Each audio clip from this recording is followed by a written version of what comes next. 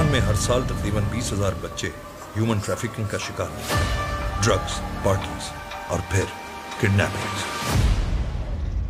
मेरा भाई कहाँ है? Hello guys welcome back to my YouTube channel उम्मीद करती हूँ आप सब लोग खैरियत से होंगे। दोस्तों, आज की इस वीडियो में हम बात करेंगे अपकमिंग पाकिस्तानी वेब सीरीज़ जिसका टाइटल है गोरख। ये वेब सीरीज़ सच्चे वाकयात पे मबनी पाकिस्तान की पहली क्राइम थ्रिलर वेब सीरीज़ होने वाली है बॉक्स वन प्राइम के ऑफिशियल यूट्यूब चैनल पे रिलीज़ की जाएगी। इस वेब सीरीज़ की रिलीज़ डेट अनाउंस की जा चुकी है। यहाँ दोस्तों, इस वेब सीरीज़ के फ़र्स्ट सीज़न को ईद उल फितर के एंड बाद रिलीज़ किया जाएगा। वेल गाइज़ इस वेब सीरीज़ को लिखा और डायरेक्ट किया है शमून अब्बासी ने, जिसकी प्रोडक्शन की बात की जाए तो इस वेब सीरीज़ को शहरी शाह रेसई और शमून अब्बासी ने शाम फ़िल्म के अंदर प्रोड्यूस किए हैं।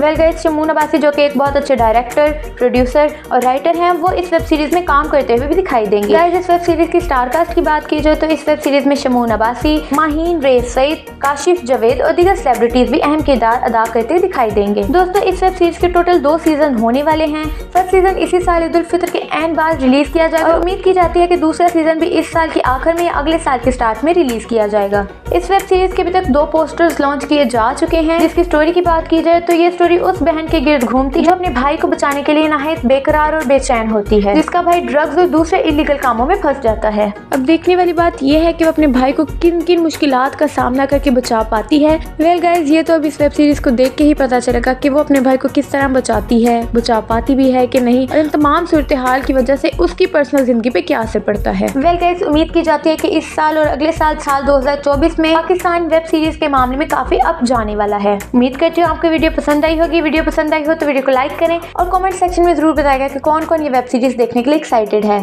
चैनल पर नए हर पाकिस्तानी सिनेमा की खबरों से जुड़े रहना चाहते हैं तो चैनल को सब्सक्राइब करके बेल आइकन प्रेस करना ना भूलें।